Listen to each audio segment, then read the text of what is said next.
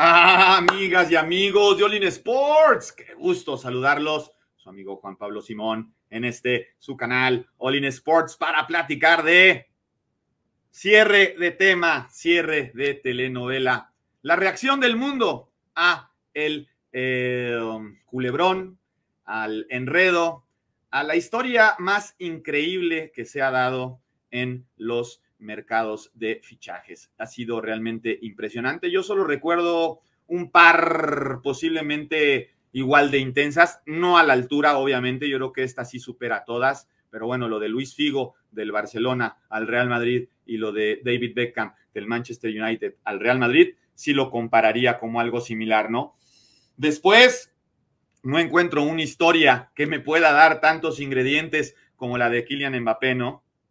Quien definitivamente ha escogido el dinero, el poder y la idolatría eterna de su país, de su ciudad. Y ahora ha decidido no enrolarse en el proyecto del mejor club de la historia, ya preferido tomar el proyecto de hacer del equipo de su ciudad un equipo protagonista en Champions League. Es lo único que le falta al fútbol francés. El fútbol francés ya es top en todo en el mundo. O sea, ya en selecciones ya es multicampeona del mundo, multicampeona de Europa. En cuanto a la producción de jugadores, produce los mejores jugadores del mundo, tiene la mejor cantera del mundo. Hoy por hoy los jugadores franceses son top junto con los brasileños, junto con los argentinos, que llevan años de ser las mejores canteras del fútbol. Y luego, lo único que les falta es un equipo grande a nivel clubes en Europa. No lo han podido tener, el único es el Marsella, el que ha logrado esa gloria con Bernard Tapie hace muchísimos años, pero fue una gloria muy efímera. Necesitan una gloria real, un dominio real, dos, tres títulos, cuatro títulos. Y si Mbappé es el primero en lograrlo, pues para él va a ser algo increíble y maravilloso. Llevo muchos meses comentando con ustedes que para mí esto era una cuestión de patria, esto era una cuestión de Estado, pero no de Estado árabe, sino de una clara y histórica eh, rivalidad entre España y Francia. Eh, yo les quería hacer este video para que entendieran el por qué en este caso yo no he estado del lado del Real Madrid. Si bien en la Superliga coincido con Florentino, yo soy totalmente fan de Florentino en esa faceta como uno de los eh, directivos más brillantes en la historia del fútbol mundial. Ustedes saben que el sábado próximo yo quiero que el Real Madrid gane la 14, pero en este caso yo no quería que Mbappé llegase al Real Madrid. ¿Por qué? Porque me encanta la historia de saber que puede intentar hacer del Paris Saint Germain un equipo grande en Champions League. Y por el otro lado, soy periodista y he visto con unos tristes, tristes ojos una cobertura de los últimos tres años del periodismo español, muy triste, eh, de muy baja calidad ética, de muy pocos valores periodísticos. Y cualquier persona que nos dedicamos a la comunicación y al quehacer periodístico, eh, tenemos que estar felices porque al final el periodismo español, no los madridistas, no los aficionados al Real Madrid, no los españoles, ¿ok? El periodismo español ha cometido uno de los ridículos más grandes en la historia del habla hispana. ¿eh? No sé si en, el habla inglés ha habido un ridículo igual.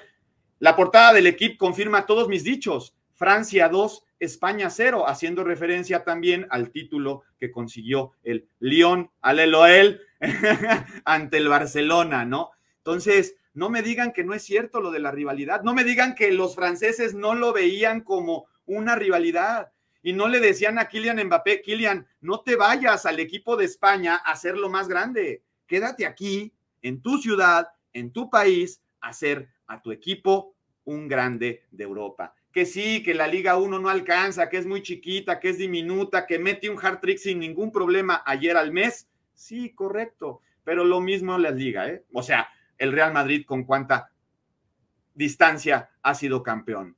No hay nadie más en la Liga Española que el Real Madrid y el Barcelona cuando está bien. Después, no existe competencia alguna. Yo llevo años diciéndolo. La liga inglesa también, los mismos tres de siempre. Y párele usted de contar. En la liga italiana lo mismo. Por primera vez ha habido una lucha interesante después de dominios y dominios de la Juventus. La Bundesliga, señores, no existe la competitividad. Entonces, yo por eso quería traer todas las reacciones. Este, vean ustedes esta editorial de marca. A mí, por eso no solo hablo del chiringuito, aquí está marca, ¿no? Hace falta mucha clase para jugar en el Real Madrid. Es una portada totalmente editorial, un mensaje no es periodístico. Eh, en fin, están demostrando todo su coraje, toda su furia y están hablando como si fuesen aficionados. Y no está bien porque son periódicos, son instituciones periodísticas de mucha jerarquía que las leen en todo el mundo y no pueden mandar estos mensajes porque ese no es el periodismo. Perdónenme, pero ese no es el periodismo. Esto sí, se queda. 2025, listo, tac. No estoy diciendo que el mundo deportivo sea el ejemplo, porque también en el caso Barcelona también son patéticos muchas veces, ¿no? Aquí, por ejemplo, para que vean, ¿no? Cómo ellos, les digo, lo siguen viendo como una disputa, ¿no? O sea, eh, sobre el mercado de transferencias, hay eh, seguido una disputa entre el Paris Saint Germain y España, ¿se fijan? Pero casi siempre el Paris Saint Germain gana. Y ya lo ven, ahí lo ponen, la portada de Las diciendo bienvenido a Neymar hace unos días que estaba en España y ya lo daban por hecho como un jugador del Real Madrid, lo de Neymar y el regreso al Barcelona y lo de Berratti que también a última hora se terminaron quedando en el Paris Saint Germain. Es por algo, ¿eh? es porque también están bien, porque los tratan bien, porque les pagan bien seguramente, ¿no?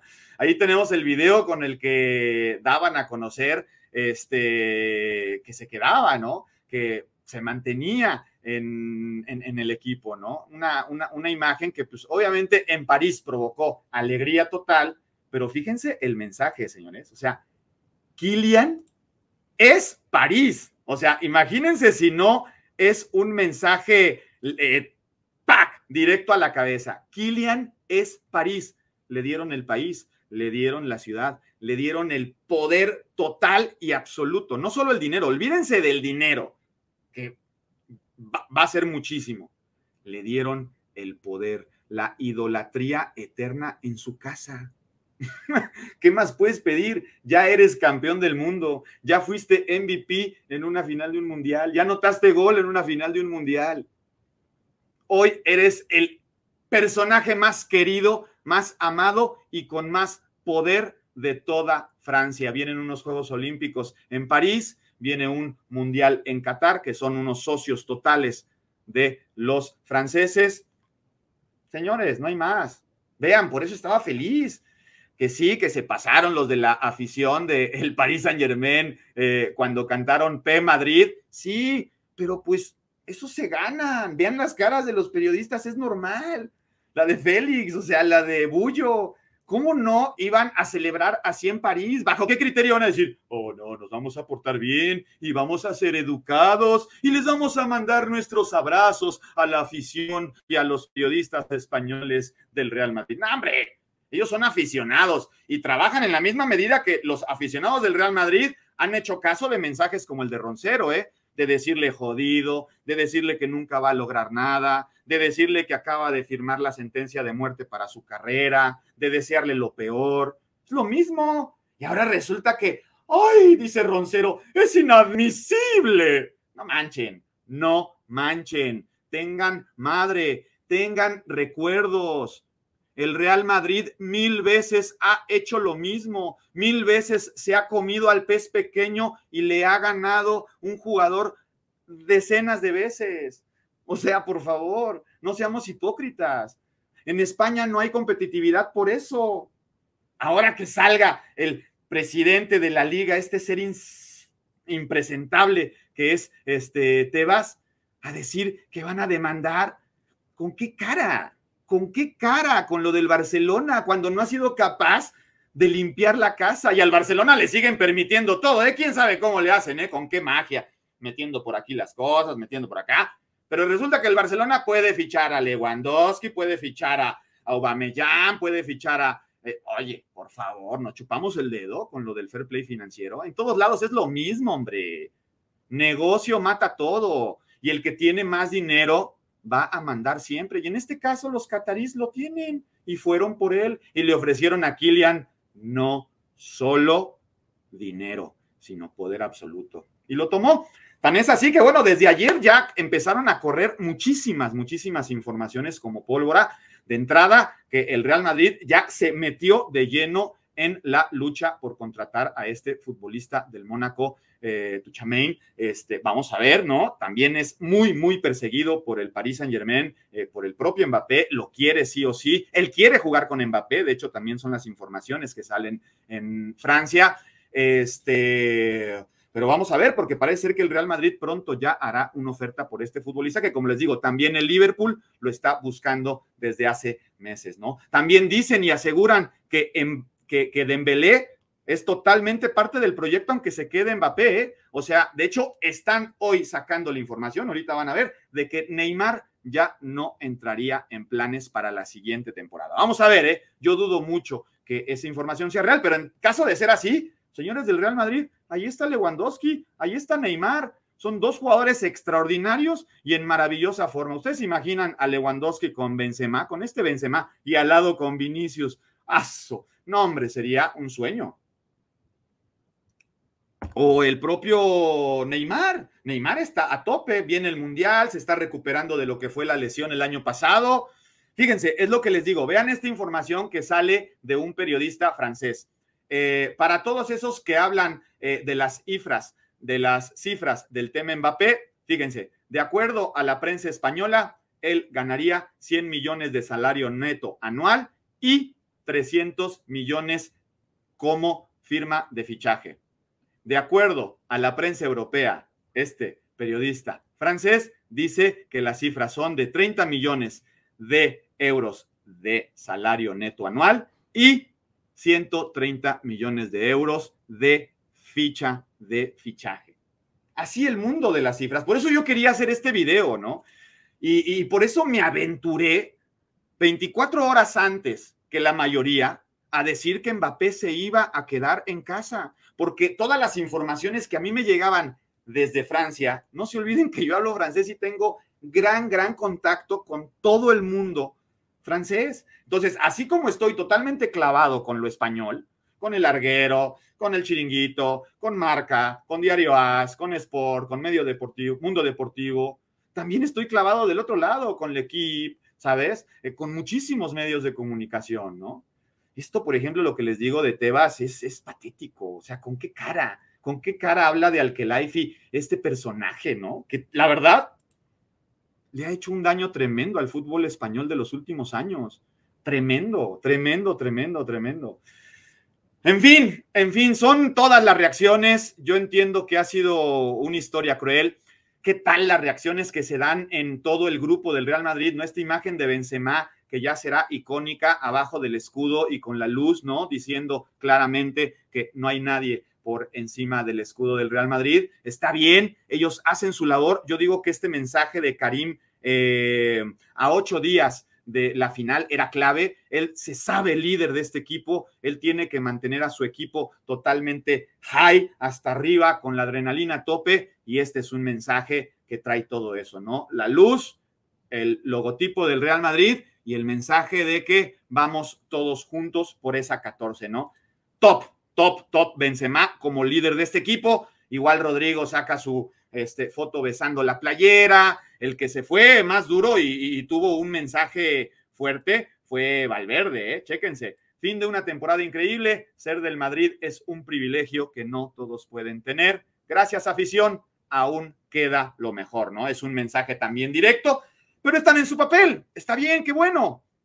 Qué padre, así como también hubo muchos jugadores en el Paris Saint Germain que celebraron la estadía de Mbappé, ¿no? Es, es, es, es, un caso que ahí queda para la historia. Por ejemplo, no todos fueron el chiringuito o los viejos periodistas que me ha tocado ver que en YouTube está inundado de videos de comentarios de verdad como si fueran porristas ultras este, del Real Madrid y no periodistas, ¿ok?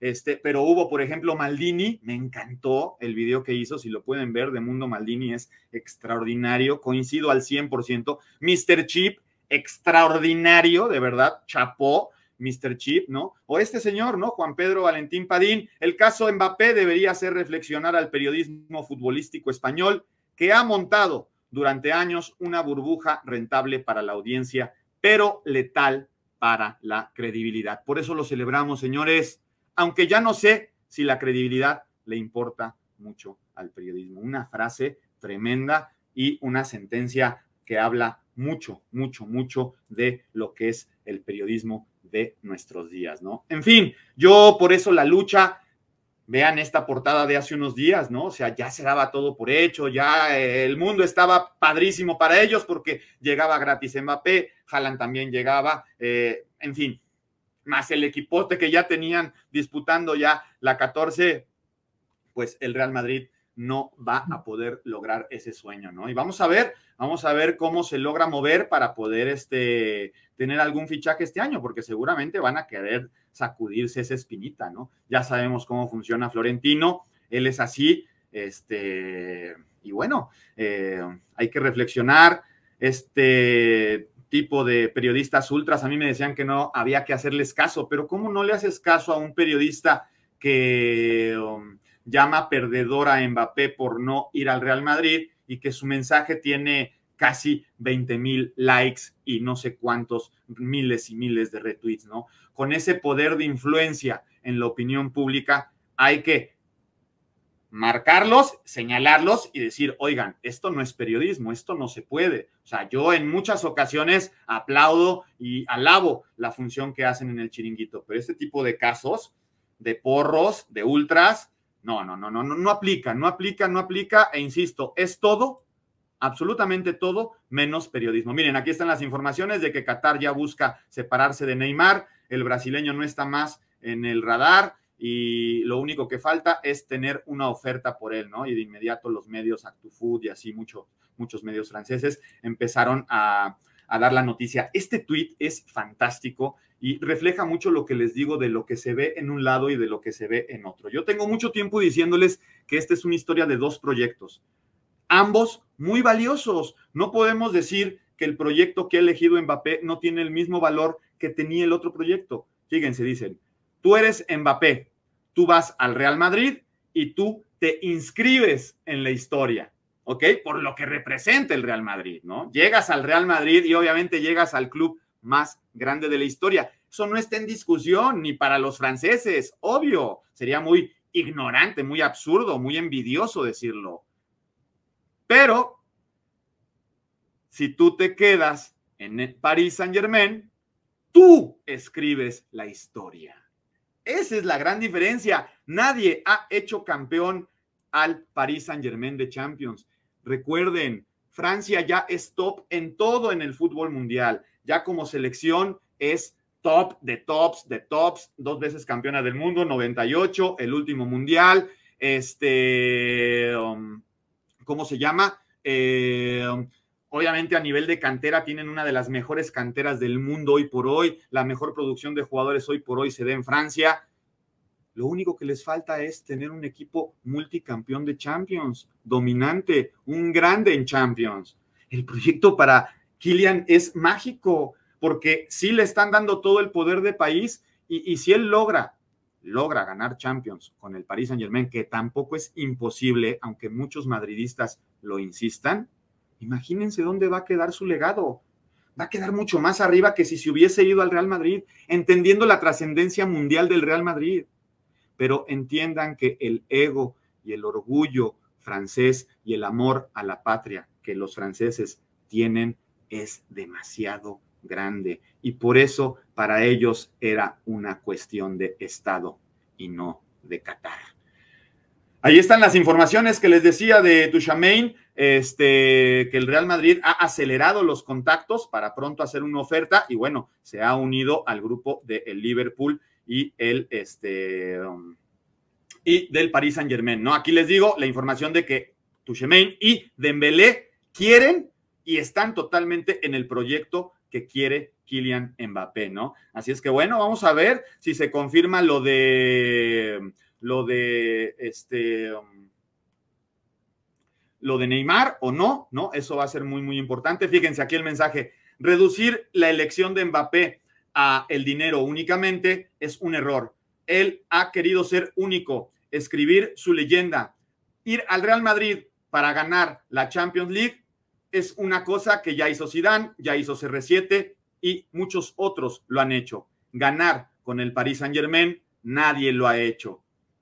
Su ego, su ambición, jugar o sí. O sea, ¿entienden cómo, cómo los mensajes y las perspectivas no son las mismas? Fíjense en España, en el chiringuito, cómo luego, luego ya empezaron a, a, crear más, más, leña. Lo hacen bien porque además es parte de esto. O sea, ellos buscan likes, ellos buscan movimiento en redes y pues este tema, ¿no? El francés perdió más de 350 mil seguidores en un día en Instagram. Pues obvio, toda la banda madridista le dijo, bye, te vas. Pero miren, o sea, tampoco es que vaya a sufrir mucho, ¿eh? De 71.6 millones de followers pasó a 71.2 un pelo a un gato de la eh, popularidad de este jugador que ha decidido elegir a su país, quiere a Zinedine Zidane como el próximo técnico. Eh, ya también Leonardo fue despedido, como era dicho. Eh, de hecho, lo de Leonardo, ¿no? Lo que les digo, o sea, Leonardo intentó venderlo varias veces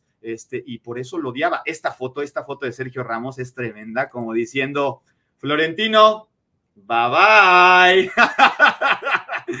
yo trabajé en el fútbol, señores. Este, yo sé lo que Sergio Ramos siente y yo sé por qué Sergio Ramos se ha vengado de esa forma de Florentino Pérez. Por eso les digo, yo prefiero estar del lado de las leyendas, de los jugadores, de los héroes, no de los equipos, no de las instituciones, porque las instituciones cuando quieren a una leyenda y al mejor central de la historia, como lo es Sergio Ramos, ¡pum! Le dieron una patada en el trasero. Las instituciones son así. Y se les olvida que son grandes gracias a ellos, a los jugadores, al que mete el gol en el minuto 90. Por eso los Patriots no tuvieron abuela cuando corrieron a Tom Brady. Por eso Tom Brady fue a Tampa, volvió Gronkowski y ganaron el Super Bowl. Y a mí me dio gusto a pesar de que le voy a los Patriots las instituciones pecan de soberbias, de arrogantes, y se les olvida que los que verdaderamente crean a las instituciones son los seres humanos, y no solo los jugadores, ¿eh? Hablamos de muchísimos más empleados. Yo lo viví, yo lo viví y me atacaron y me juzgaron cuando después me burlé de los directivos de mi equipo, quienes me habían echado cuando yo me había entregado en cuerpo y alma durante ocho años a mi querido Atlante. Muchos no me entendieron, no me importó, pero yo tenía que burlarme un año después de ellos porque lo que nos habían hecho a muchos no se valía. Y es eso en las instituciones. Por eso quiero que entiendan que yo les hablo desde un conocimiento de causa, desde una experiencia vivida, ¿no? Y es obvio que el señor Sergio Ramos se ha vengado de lo lindo del señor Florentino Pérez. Todavía el viaje del otro día, la cena, la foto de él, todo sonriente.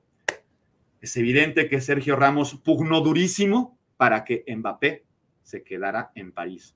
Pongo mi resto ante esa situación, ¿no? En fin, con esto cerramos este tema, con esto nos enganchamos directamente con eh, Roland Garros, que ya empezó, ya tenemos sorpresas. Este, ayer fue una fiesta, una despedida muy, muy merecida para un crack como Di María. Las lágrimas de Di María confirman que esa cárcel del Paris Saint Germain no es tal. Los jugadores aman al Paris Saint Germain, les gusta, están contentos en el equipo. Este, um, así es que vamos a ver, ¿no? Lo que les decía de Leonardo, ¿no? Eh, en, Francia, miren este meme que sacan, ¿no? del sueño de pequeño a mejor jugar con Messi, no, me quedo con Messi. Evidentemente hubo muchísimo movimiento en redes tras el anuncio, tras la firma de Kylian Mbappé con el Paris Saint Germain. De nuevo, este, fíjense, una mamá, una mamá que dice, este, mi hijo se fue a acostar muy feliz y decía, es realmente bien, o sea, es, es realmente maravilloso que él se quede, ¿no? Este, para mi punto de vista, no es el único niño que se fue a dormir eh, pensando con las estrellas en la cabeza, ¿no? Para que vean lo que piensan en Francia, o sea, para que vean lo que significó. Y evidentemente, pues sí, en España y en muchos lados madridistas lo van a odiar, pero definitivamente en Francia, él a partir de ahora es el hombre más amado, el ídolo más grande, es una estrella demasiado grande y que ha decidido Muchos dicen la zona de confort, yo no lo creo, porque quedarse a ser campeón al Paris Saint Germain me parece mucho más complicado que ir a ganar una Champions más con el equipo más grande de la historia. Así cerramos esta cobertura de un tema intenso, apasionante. Muchos ya están hartos, estresados.